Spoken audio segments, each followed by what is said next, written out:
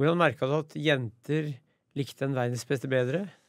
Jeg begynte å bli litt annen pågang nå, for eh, han som satt bakerst på, på klasserommet, jeg skulle tilbake til Steinkjer videregående og ja, skulle etter hvert inn i, i russetid her òg. men klart, det ble en annen pågang når man eh, kom inn i kantina der og ble hedra som juniorverdensmester foran rektor. Og uh, skolen var samla. Uh, satt der sammen med Marte Elden, også juniorverdensmester.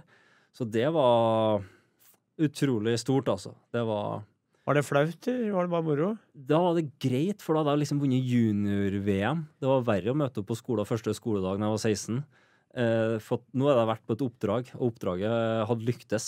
Nesten som at du hadde sendt en fyr opp til månen og, og planta beina. Sånn var det for meg å komme hjem med et junior-VM-gull. Da hadde jeg liksom lyktes på første ordentlige store oppdraget mitt i utlandet. Og du viste lærere som ikke hadde tro på deg på skolen, at du allikevel klarte noe? Ja, jeg gjorde det. Og klart Jeg ble nok Jeg var nok ikke veldig sånn enda mer trygg og håpløs i forhold til valgene jeg gjorde i forhold til dem senere òg, men jeg tror de begynte å skjønne hva mitt oppdrag var på denne skolen. da. Uh, og jeg tror flere skjønte at det Petter gjør, det fungerer for Petter. Vi lar Petter være Petter og respekterer han for det.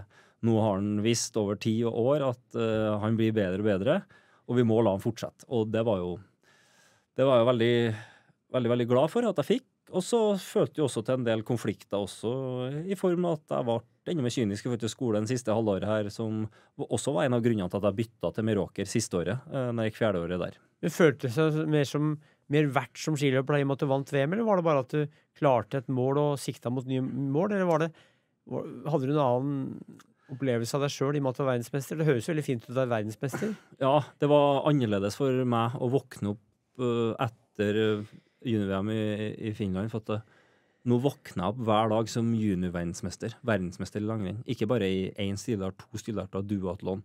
Eh, og måten jeg gjorde det òg, eh, allerede da, kynismen der i forhold til, i forhold til Tony Nervinen, Mik Mikhail Deviotjarov jr., eh, som jeg gikk med på den, eh, sammen på den duatlon her, på skøytinga, der jeg brukte min taktikk som jeg gjorde i senioralder, med å ligge bak, irritere dem, være kynisk lyktes allerede da med taktikken min og begynte å bygge opp en trygghet da, rundt det jeg gjorde på trening.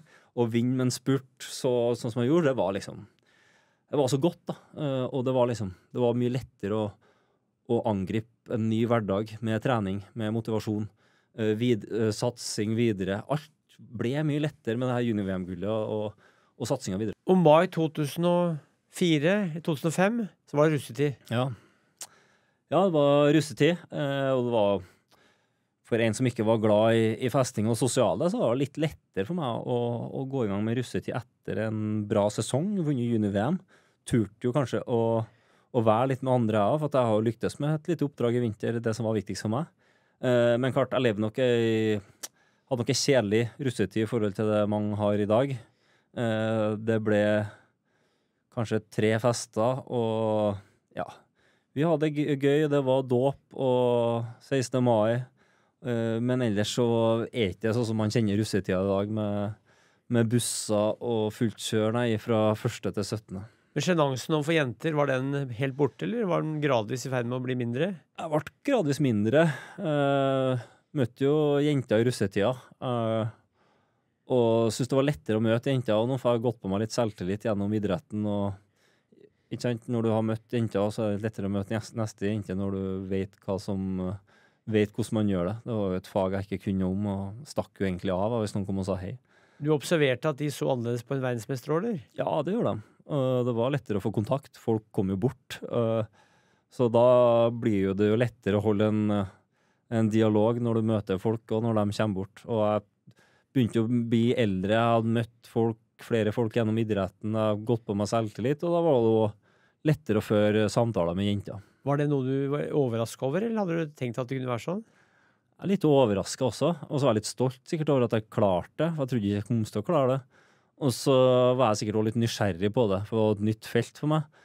Og så var det jo på en tid på året der jeg følte at ok, jeg kan være litt useriøs nå i mai, ettersom jeg har jo hatt en bra sesong, og så vet vi at det drar seg til en fra midten av mai, for da, da, er det en ny sesong som venter. Så jeg tror jeg hadde litt godt av å bare kjenne litt på det og, og kjenne litt hvordan eh, det var.